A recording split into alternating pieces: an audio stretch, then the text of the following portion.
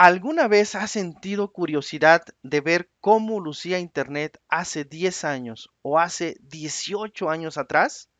Bien, en este tutorial te voy a mostrar una herramienta con la cual puedes viajar al pasado.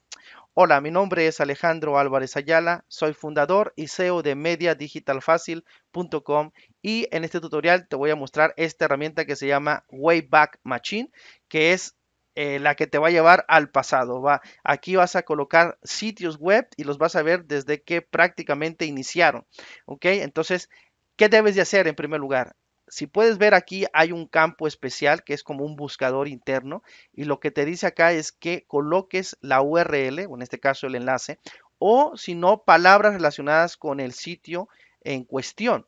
Para eso, como no está en, este, en español la herramienta, simplemente tradúcela al español con la herramienta de traducción de Google para que puedas enterarte mucho mejor de lo que te está diciendo este sitio, porque hay una parte importante aquí que, se, eh, que es esta, que es guardar la página ahora. Es decir, si en este momento tú tienes un sitio y vienes y lo buscas acá y no lo encuentras, pero quieres guardarlo para la posteridad, simplemente debes agregar aquí el enlace y después guardar la página y eso es todo. Por eso te sugiero que traduzcas el sitio para que te enteres mejor de lo que puedes hacer con la herramienta y, y puedas seguir las instrucciones.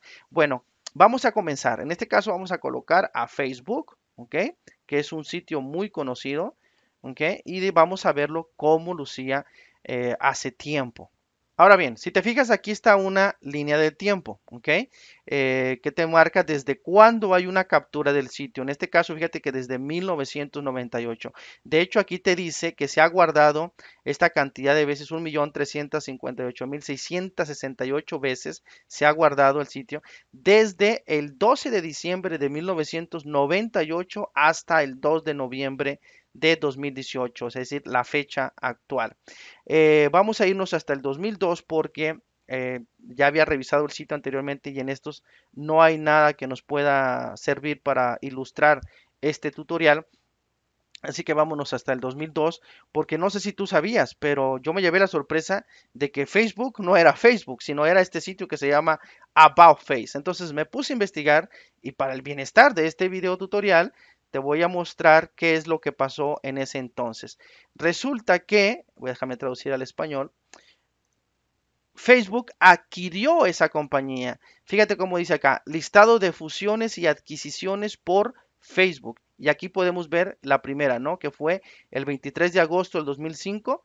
Eh, adquirió el negocio About Face Corporation eh, y pagó 200 mil dólares por ese sitio y después cambió de nombre de, como lo podemos ver acá, aboutface.com, lo cambió a dafacebook.com. De hecho, así se llamaba Facebook en aquel momento. Tenía estas tres palabras de más, que sería tres letras, perdón, la T, la H y la E. De hecho, buscando en la herramienta, te fijas, aquí aparece en el, eh, esta parte de aquí, esta eh, amarillo con negro, te dice la fecha la actual en la que estás viendo el sitio, que fue agosto 13 del 2005. Así lucía en aquel año, en aquel entonces Facebook que decía The Facebook, ¿ok? Después, eh, más adelante lo cambió por Facebook nada más. y, y, así lucía en aquel tiempo, en este caso en, en abril de 2006, así lucía Facebook y después en el 2007, así lucía y todo esto lo puedes ir reviviendo con esta herramienta. No sé si viste la, película Red Social, eh, la red social, pero ahí, te, ahí hay una parte donde decía que uno, una persona que había creado también una, una, aplicación muy famosa en aquel tiempo, no recuerdo el nombre, pero era la que tenía una imagen como de un gatito, este, le dio esa idea de que le quitara las tres letras y solamente dejara Facebook. Bueno, pues como puedes ver, así lucía. Bien, ahora vamos a ver otros sitios conocidos como el caso de Google. Si te fijas, así lucía Google eh, cuando en diciembre 2 de 1998. Fíjate cómo incluso estaba en estado beta. ¿ok? Ah, vámonos a otro sitio, en este caso YouTube. YouTube nació en el 2005 y la primera captura del sitio que obtengo es en abril 28 del 2005 y lucía así. Y fíjate cómo unos pocos meses después, en, diciembre 31 de 2005, lucía de esta manera, o sea, un cambio radical completamente de cómo se veía así a cómo tenía mucha más información, como puedes ver ahí. Después en el 2006 lucía así, en el 2007 de esta manera y en el 2010 de esta forma. Y bueno, ya tienes la idea. También con esta herramienta puedes ver canales directamente de YouTube. En este caso vamos a buscar uno que es eh, de una artista famosa como es Rihanna, ¿ok?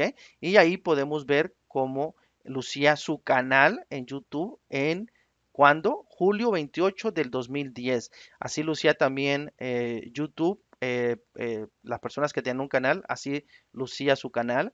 Eh, mira como acá, por ejemplo, directamente en la página de ellos aparecía el perfil y mostraba la cantidad de vistas que tenía en ese momento, 18.277. Se unió en noviembre 6 del 2005 Rihanna a YouTube.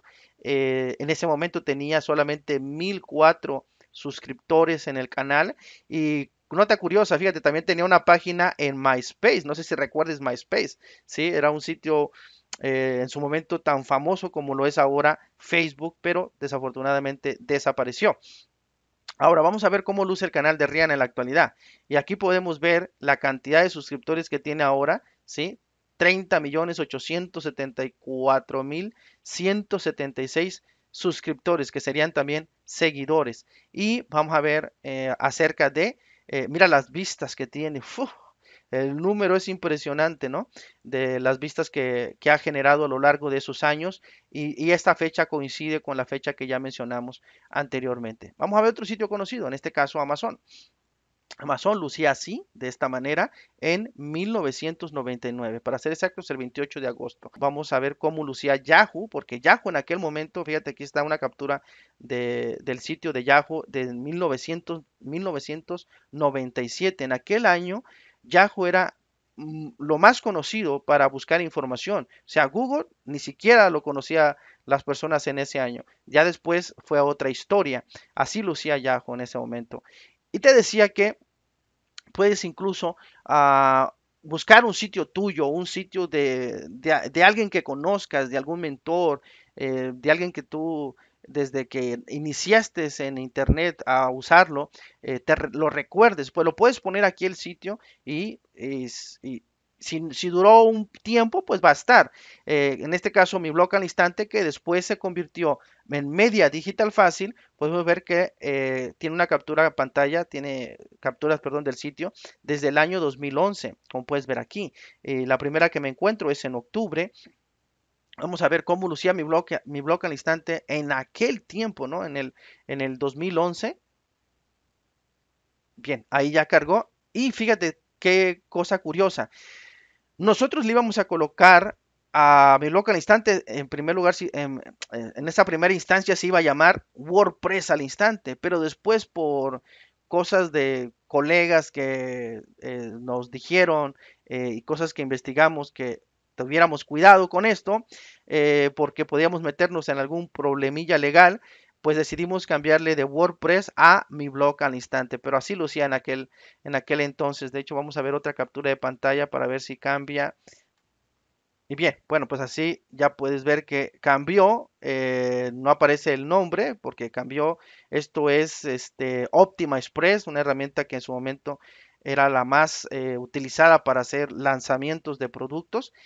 Y bueno, eh, vuelvo y te repito, puedes buscar cualquier eh, sitio web que recuerdes, eh, canal o enlace que tengas disponible, eh, que la recuerdes, la puedes colocar aquí, puedes viajar al pasado con esta herramienta.